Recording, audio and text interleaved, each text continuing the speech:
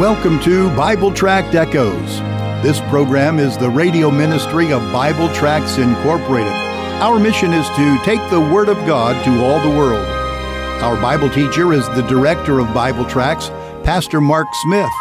Since 1938, Bible Tracts Incorporated has been publishing clear gospel tracts and supplying them to churches, missionaries, and individuals all over the world, and all at no charge. Information on how you can receive a free sample pack of our tracts will be given at the end of this broadcast. Now, for our Bible study, here is our teacher, Pastor Mark Smith.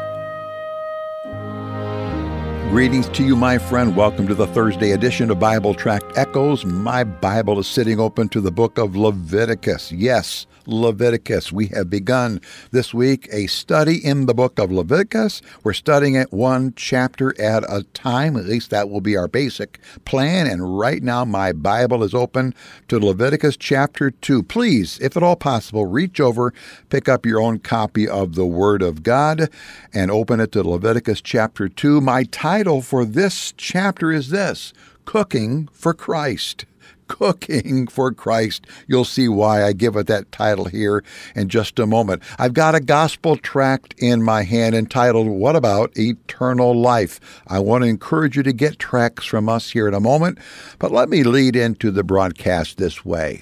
As a group of people, farmers tend to be the, the group most keenly aware that there is a God and that He controls the world. Now, I'm not saying that all farmers are Christians. We all know that that's not true. Farmers, though, are, are utterly dependent upon the weather and they're dependent upon the process of seeds sprouting and plants growing. Both processes there are out of the farmer's control. So, farmers as a group are keenly alert to the miracle of plant life and the mysteries of weather. At harvest time, farmers know in the depth of their soul two things. One, farming is hard work, and that work had to be done. Number two, they know that without God's help, all that hard work would have been for absolutely nothing. Here in Leviticus 2, we find an offering that reminds us all that God is the ultimate provider of all of our, our needs. Join me in Leviticus, please, in chapter 2. Before I begin to read at verse 1 there, let me just encourage you with the fact of getting some gospel tracts from us. You see, the radio program Bible Tract Echoes, we've been going since 1957, but this is the radio arm of a ministry called Bible Tracts Incorporated, and that is has been going on since 1938. We're in our 80th year of publishing gospel tracts in different languages and giving them away around the world. I want to put a sample packet of our tracts into your hands. I want to do that at the end of the broadcast. My announcer will give you three ways by which you can give to us your name and mailing address. One of the tracts in the sample packet is entitled, What About Eternal Life? What about eternal life? Part of the tract says this As an old man with whom I was dealing said to me once, I'm afraid. I'm afraid my bad deeds are going to outweigh my good deeds. I said, Mister, if your good deeds had outweighed your bad deeds, you wouldn't have the slightest chance of getting into heaven. Well, that startled the man. He looked at me in utter amazement. He thought if his good deeds outweighed his bad deeds, all would be well multiplied thousands believe the same thing. He thought he could earn or buy or merit eternal life by his goodness. After I showed him that salvation is a gift, he bowed his head and received Jesus Christ as Savior. My friend, you know that uh, the word eternal life does not mean eternal existence? Are you aware of that? You see, eternal existence is going to be had by all, including the devil and demons and so on. They're going to exist forever, but not in heaven. They're going to be in hell. To have eternal life, you need to have Jesus Christ as your Savior. This gospel tract really makes that clear. Oh, please let me send you this track as part of that sample packet.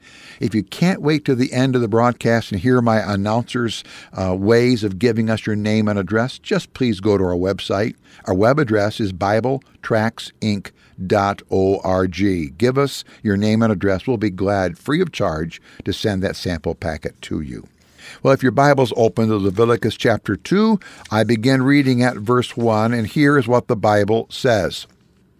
And when any will offer a meat, or really the word is meal offering, their grain offering unto the Lord, his offering shall be a fine flour, and he shall pour oil upon it, and put frankincense thereon. And he shall bring it to Aaron's son the priest, and he shall take thereout a handful of the flour thereof, and the oil thereof, and all the frankincense thereof, and the priest shall burn the memorial, that is the part of it, upon the altar, to be an offering made by fire, a sweet savor unto the Lord. And the remnant, the leftover of that oil and the flour, the remnant of the meal offering shall be Aaron's and the sons. It's a thing most holy of an offering unto the Lord made by fire. Now, I want to uh, take you to verse 11, which says this No meat, or that is a meal offering, which you shall bring unto the Lord, shall be made with leaven, for ye shall burn no leaven, nor any honey in any offering of the Lord made by fire. You go back, you're going to find the word baked there in verse 4, baked in verse 5, and baked in verse 7. The one who brings the offering could uh, do some cooking for his Lord. Well, as you come to Leviticus chapter 2, the meal offering or the grain offering here is before us. It is a bloodless offering it's made unto the Lord. So, being bloodless, no blood, then obviously this offering has nothing to do with making an offering for sin. The meal offering was not a mandatory action, it was a voluntary action. But the statement it made is really critical, and it says a lot about the heart of the person who brought the offering. I'm going to use some I words today. The first one is intent. The what is the intent of this offering? He, in Leviticus chapter 1, we saw the burnt offering. It pictured the total dedication or consecration of the offerer to God. It's a picture of what you and I might call Romans 12 1 and 2 being a living sacrifice. Now, in chapter 2 of Leviticus, the meal offering is a statement of acknowledgement. It acknowledges that all that I have has come from God. That's the intent. What about my second I word? It's the word ingredients. Ingredients. There were only three ingredients in this meal offering there was the fine flour, the oil, and the frankincense. All three of these came as a result of human effort. That's different than the burnt offering.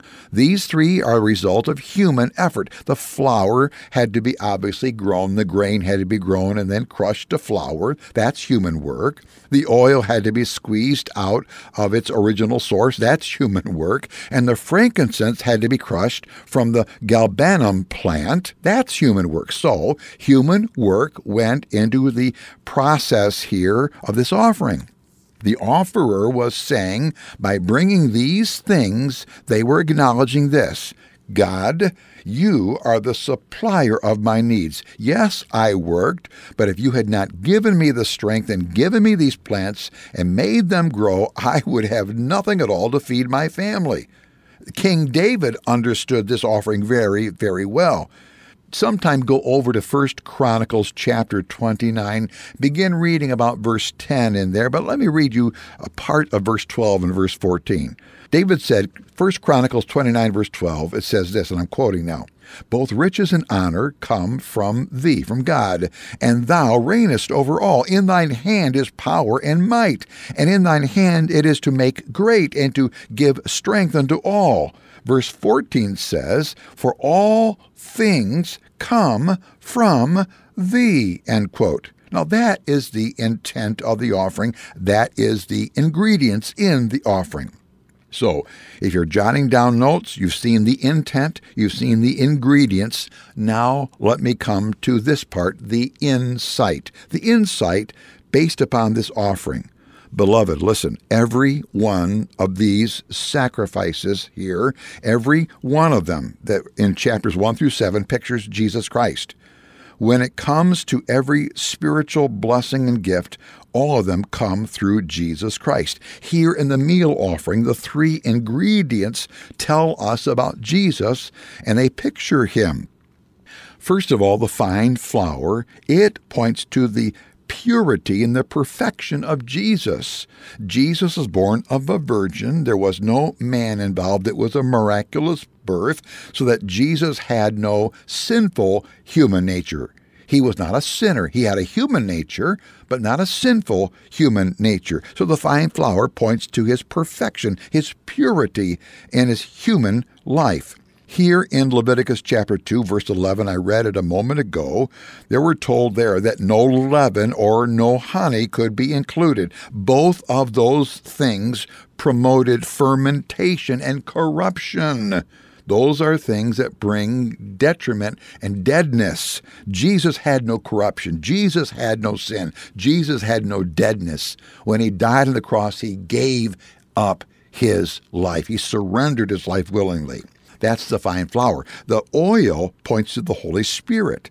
Sometime go to Acts chapter 10, verse 38. There we're told that God the Father anointed Jesus with the Holy Spirit and power. Jesus was God in human flesh, but he chose to do his work under the control of the third member of the Trinity, the Spirit. And by the way, that's how you and I do our lives as believers, through the enabling of the indwelling Spirit. The third ingredient was the frankincense. This was a very fragrant spice, which really only gave off its smell when it was put with fire. Frankincense is a symbol of prayer and communion and fellowship. How in the world does this spice picture Jesus? Well, friend, Jesus was put through the fire of testing, and finally, the great fire of all was the crucifixion. Yet, through it all, what did he do? He prayed his strength physically to do the work of being our Savior came as a result of praying to the Father. No greater episode of this can be found in all the Word of God than when we find Christ there in the Garden of Gethsemane. His words, not my will, but thine be done. It's a surrender, and he goes to the Calvary in the enabling help of God's Spirit. Those words not my will, but thine be done, have echoed down through the centuries, all as a result of Christ going first in prayer. Now, listen, dear listener friend, if you are a believer like I am, then you and I have a task to do just as Jesus did.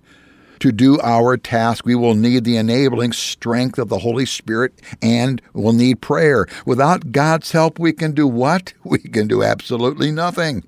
Also, believer friend, we need to acknowledge God's sovereign hand in providing us all that we have. Every good gift comes from above. We get it from God, and the attitude of gratefulness ought to be a, a prominent trait of our lives.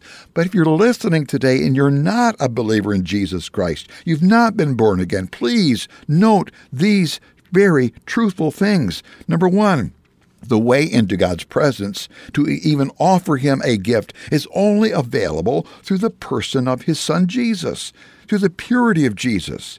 And he could be your sin bearer if you let Him. He stands ready to be that. The empty tomb of Jesus proves that his offering on Calvary was enough to pay for all of your sins. The Bible says this Jesus arose for our justification. Let him be the one who makes you right with God today. Amen. Thank you for joining us today for Bible Tract Echoes. If you would like to receive a free sample packet of our tracts, you can contact us by calling 309 828 6888. Our mailing address is Bible Tracts, P.O. Box 188, Bloomington, Illinois 61702. Again, our phone number is 309 828 6888, and our mailing address is P.O. Box 188, Bloomington, Illinois 61702. You can also contact us through our website. Our web address is BibleTractsInc.org. Remember, the word tracts is spelled T R A C T S. That address is BibleTractsInc.org. May the Lord richly bless you as you serve Him.